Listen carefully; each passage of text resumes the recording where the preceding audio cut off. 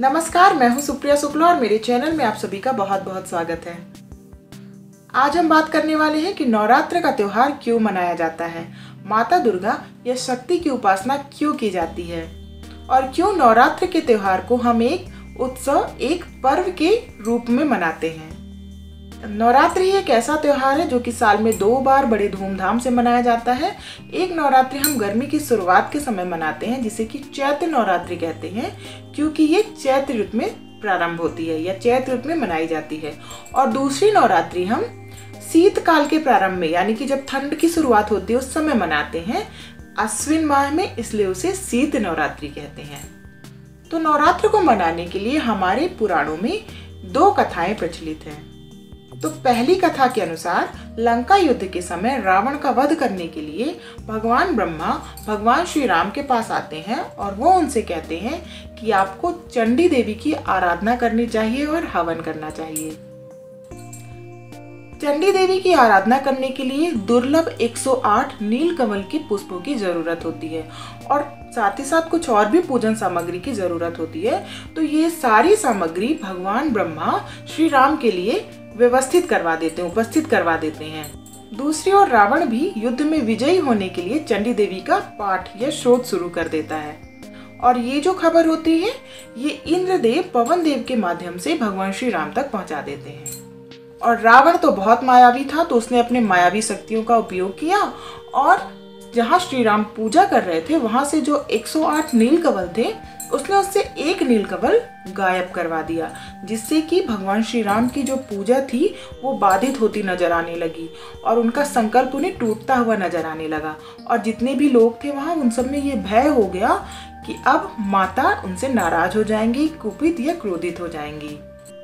तभी भगवान श्री राम को याद आता है कि उन्हें नवकंज लोचन या कमल नयन भी कहा जाता है।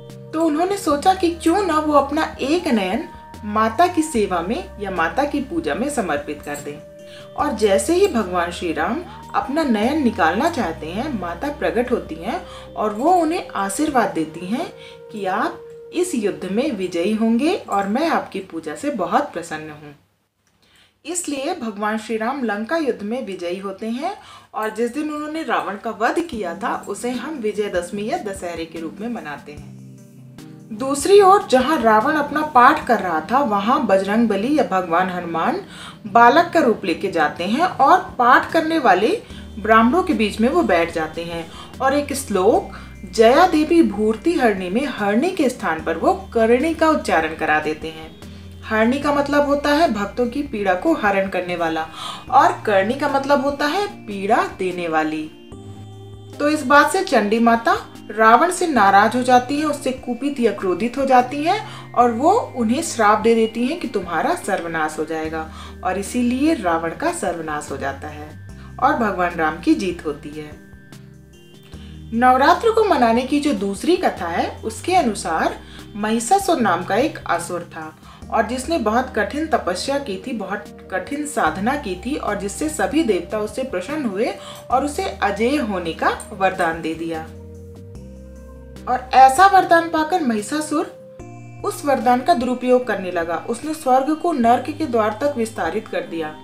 और जितने भी देवता थे, सूर्य, चंद्र, वायु, अग्नि, इन सभी देवता से उसने उनका अधिकार छीन लिया और स्वर्ग का मालिक बन बैठा।